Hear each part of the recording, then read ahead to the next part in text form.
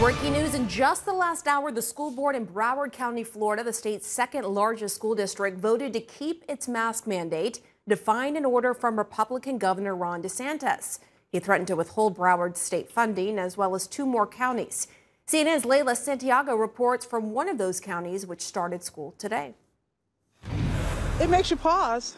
It, it does make you pause, but our goal is the health and safety of our students and our staff. School board member Tina Certain says she's willing to risk her salary to spare the students of Alachua County from risking their health.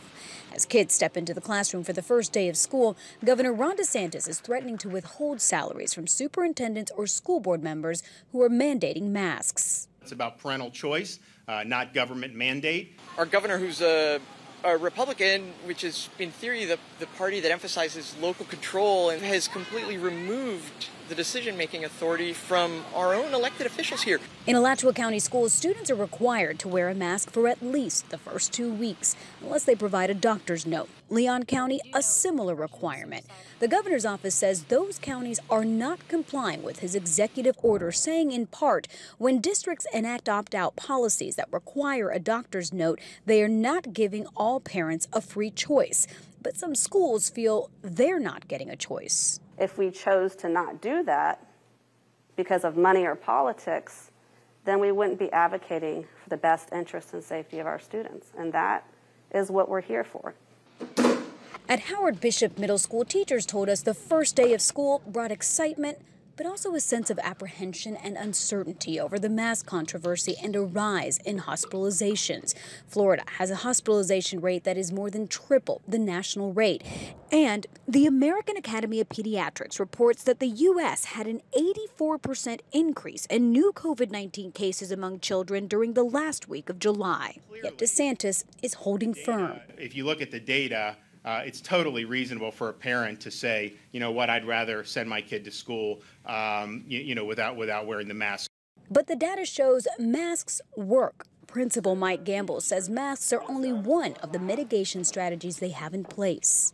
We know how to contact trace and who might have been around a positive case. Are you expecting that? Um, I hate to sound like a pessimist, but um, we're going to be prepared for that. Alachua County schools say they are seeing an increasing number of employees testing positive. Two employees and one student recently died from COVID. On Monday, there were 32 new positive cases and 72 employees were in quarantine, and the school year has only just begun. Now, amidst a pandemic and politics. And just moments ago, President Biden criticized the governor's efforts here in Florida to prohibit any sort of mask mandate in the schools, calling it, quote, disingenuous. When asked if he had any federal authority to intervene, Biden said he's looking into it. All right, Leyla Santiago, thank you so much. And I want to bring in Leanetta McNealy. She's the chair of the Alachua County Public Schools Board in the Gainesville area. Nice to see you, Leanetta. Today was the first day I'm of glad. school. And uh, Today was the how's it been going? And, and, you know, have any parents so far used the doctor's note to get their child out of wearing a mask?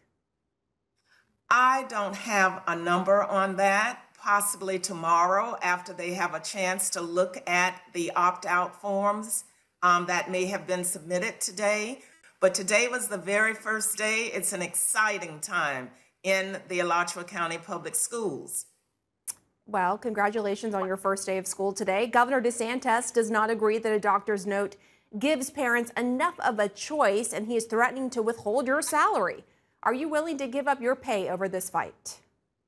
Well, you know, it's very important for our children to be safe and have well being as well as our staff.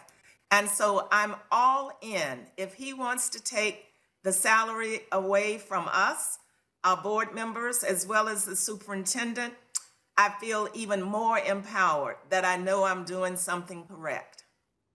So, what happens if a student shows up to school without a mask and a note? Is there disciplinary action if that happens? No, there will be no dis.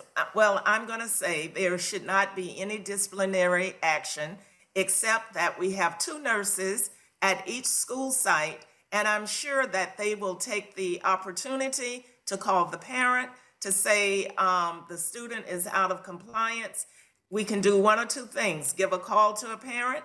We have plenty of masks on campuses. So there is, no problem handing a student a mask to, to put on. So why not do then what other school districts are doing and allow parents to opt out of the mask mandate? Why is there this extra step of requiring a doctor's note? Well, our opt out policy will require, because as you could expect, any parent can say their child has a situation.